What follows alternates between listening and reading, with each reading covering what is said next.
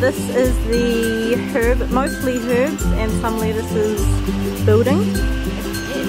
The tables here are a little bit weird, but I uh, bare, bare, bare. But I think that's because you're currently doing stuff, seeding. So this time of year, because we've got so much demand, we've pulled out everything that we've cut last week and we've seeded in new stuff. So these cups here, we have a different type of growing medium in there, and we put the seeds in and leave them germinate on the table. So this side we have a lot of um, soft green herbs and some things that we're just about to change over. So here we have some kaffir lime leaf. Yeah. Did I say that right? Kaffir lime leaf? Kaffir, kaffir, Kaffir lime leaves? kaffir, kaffir, Yeah. like fear. I fear the cat. Fear the calf, I like that. Yeah, They they, smell so good. I They was, do. I was trying these up earlier and I was like, mmm, I'd love my house to smell like this. they're so good and they're amazing and Thai food, if you're not putting these into your curry then you know you'll notice it. They Yeah. give them that zing. And they you've do got- smell really good. You've got curry tree leaves, which curry leaf trees. Um, okay. That's what Indians call it, limmery. Quite, They quite don't fragrant. have a nice smell on their own, but once you cook them, they're really, really good. They're good in dal. Yes. Yes, But they make a dal. I don't think you can have a dal without them actually. So if you're doing like a dal without curry leaves and a Thai curry without lime leaves, you're doing it wrong. Um, Exactly. I think in New Zealand we import a lot from Fiji as well. Yeah, there's lots of Fijian Indians over there, so Yeah, and I think they, they grow curry leaves particularly well. They also grow lemongrass particularly well. But we have our own. Yeah. weed stock, so we're just Lemongrass. re-sowing all of our beds um, at the end. So we're changing over our stock. This here is French tarragon. oh, These are little seedlings that we've got. So these are not mature. No. So do some of your herbs grow better in dirt than like most of your stuff is Soil. hydroponics? dirt, soil. Oil. yeah. Um, yeah, well, I think I've been told you can grow nearly anything hydroponically, and we have some things which we prefer to keep a stock in soil as well. French tarragon, we have just found a really good way. My grower's got particularly good skill set with growing, so she's started off with these seedlings, and Cool. they're actually doing really well. And here we like to experiment a bit more, so we keep these beds to experiment with different little plants. So we've got everything. We've got pineapple sage here. Oh, we had pineapple sage once. It took over. it. No, we have pineapple mint. It was not very nice. Pineapple mint. I've never come across pineapple. It doesn't sound. It doesn't taste very good. It does smell like it, but it doesn't taste like it. Mm. We have chocolate mint. That's nice. Oh yeah. Does it taste like chocolate? It tastes like an after dinner mint. Oh, ah, can I try some? Yes. Let's go try the chocolate. So, selecting a particularly delicious leaf. Mmm. Mmm, does actually. It's good, eh? Would you like to try some Vietnamese mint on camera? Is Vietnamese mint the hot one? Um, it is peppery. It is nice. I think you'll like it. Okay, well let's try some of that then. Because Is this one? It's right here. Yeah. So it's a little bit overgrown. We have to cut this back. It It's grows. always overgrown every time I come up. It grows like a weed. It's amazing. Vietnamese mint, guys. Mmm. It's quite flavoursome. This you'd put in curries as well, yeah? Um, I think you can put it through a lot of Southeast Asian food. Like you can chop it through hot food, or you can have it fresh, like chopped through a salad. Hmm. This, the Vietnamese mint and the chocolate mint together in something, like a reckon? confection. the peppery with the. It'd be like chili chocolate kind of thing. I want to see you try the basil. I think you like. I don't like basil. But you might like these basils because they're not actually like basil. So this is coriander, which is delicious. If you don't like coriander, I can respect that, but please don't tell me it's disgusting because I'm Indian and it's my favourite thing. I don't know. I like. I find with like the staff here, people either like love it or they hate it. People aren't like undecided about it. I love it hmm. myself, but I don't know. Some people they just very strong opinions about coriander. It seems to, you know, People love it or they hate it. Like no one's just like meh. Or maybe I just haven't met those people because I'm very opinionated. So this is This is. is a baby lemon basil. Hmm. I'm gonna try baby lemon basil. Well, you've got a bit of Vietnamese still in your mouth. Mm, no, this is not for me. This would make a nice candle though. Mm, like the scent is quite something that would transfer to cosmetics quite well, I think. That I'm I- not eating that, so I don't know why you're passing it to me. This is Greek basil, and you're going to eat a leaf of it. Oh, okay. I'm just, I don't really go for basil. They don't taste like basil. Oh, that one's nice. Mm. Ac- actual basil gives me a headache, and apparently, a lot of plants, as a um, natural protective thing, they will taste hot or they will make you feel sick or something like that. And basil's one of them. Chili is also another, but I think that's backfired a little bit for them. so, what's this one? Purple basil. Purple basil. Yeah. Very cute. Beautiful. Yeah, it's beautiful. Mm. This one you will like. This is Thai basil. It's This is this is. Thai basil. This is the one my partner likes. Aniseed. That would make a nice like. That would make nice lollies actually. No, I think Weirdly. lollies. Oh my god, it does. It tastes like um like mint humbugs or like aniseed balls or something. Real awesome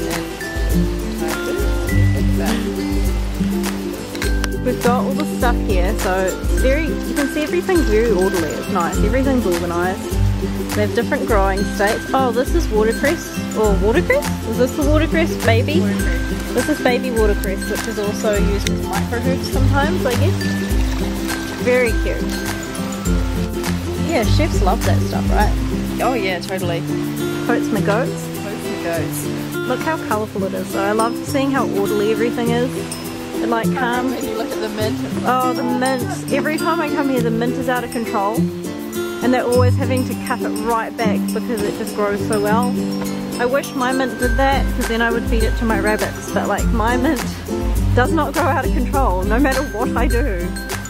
that lime leaf tree. So this is your mama lime leaf. Yeah. Kaffir. Kaffir.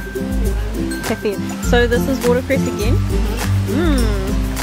Another size. So we sell it at you know lots of different sizes. Yeah. Can I eat some? Absolutely, go for it. Hmm, watercress. I'm part Māori also, so I should really like this. Mmm, that is good. Good. I didn't think I'd be able to taste it because of all the, the Yeah. stuff I've eaten, but that was really nice. Like that, that fishery taste, really good in water, um, in boil up. if you can have boil up, I can't now, but um, back in the day I did love a boil up. Mm. Amaranth. Oh, mum likes this one. Yeah. Yeah. So we do this at varied sizes, but this this is a nice size for Salads and things. yeah, yeah, which some people do. It's, it makes an amazing little micro because when the light hits it, it's almost like iridescent red. It's amazing. And What's- this here Mm. Is stevia. Stevia? natural form. So natural like sweetener. Yeah, Yeah. it's really nice. You only Okay. need a little bit though. naturally sweet. Oh, imagine this with like the chocolate peppermint leaf. I don't even we level. Oh my god.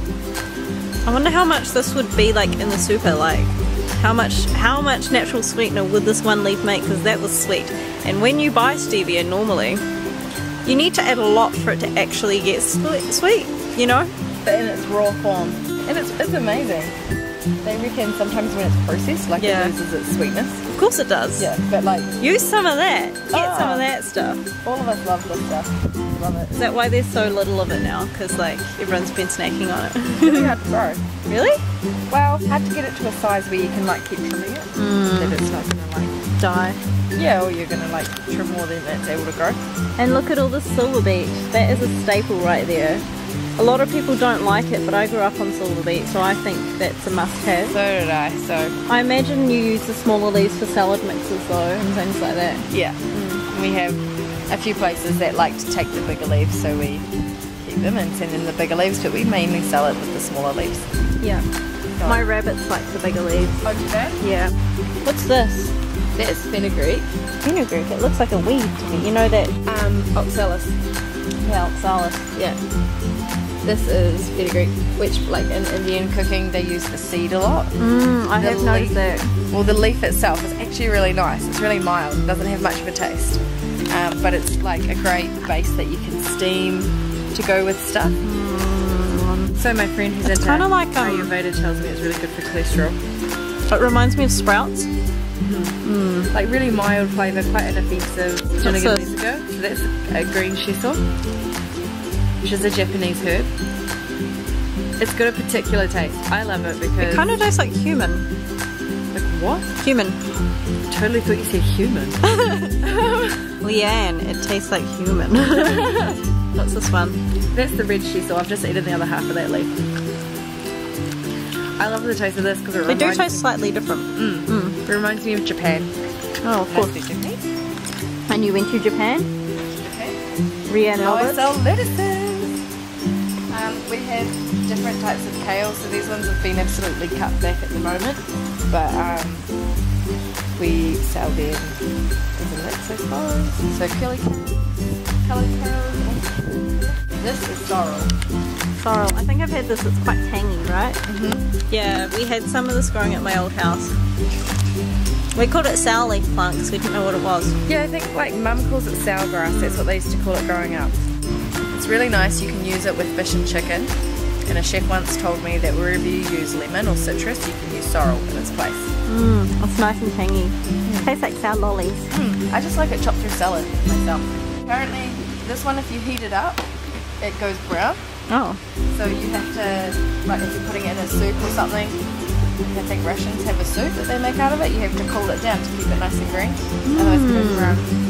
but this basil's looking fantastic. Mm-hmm. Oh my god, though, you sell so much basil. Mm-hmm. Like Everyone a, loves a ridiculous amount. Yeah, basil, parsley, chives, coriander, Mint. mint, Mint. mint. mint for Africa.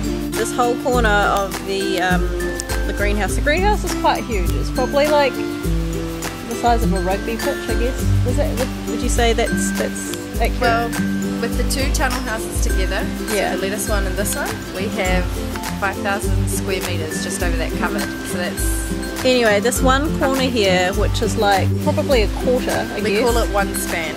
It's one tunnel house. Yeah. So this is one span here is just basil and mint, basically. That's how much they sell.